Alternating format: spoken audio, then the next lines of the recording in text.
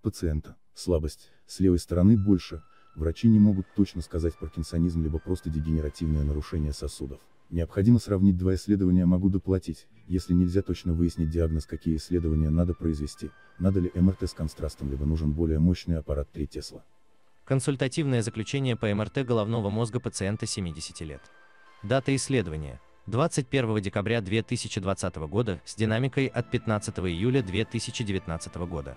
При МРТ головного мозга в аксиальной и сагитальной проекциях получено изображение структур мозга по Т1 и Т2 V плюс 2.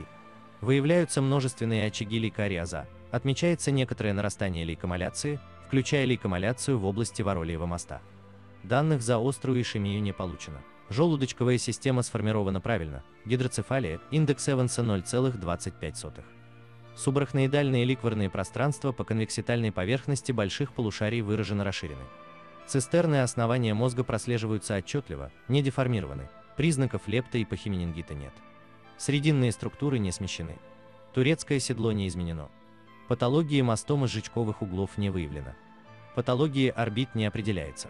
Хиазмально-селярная область без МР признаков патологических изменений.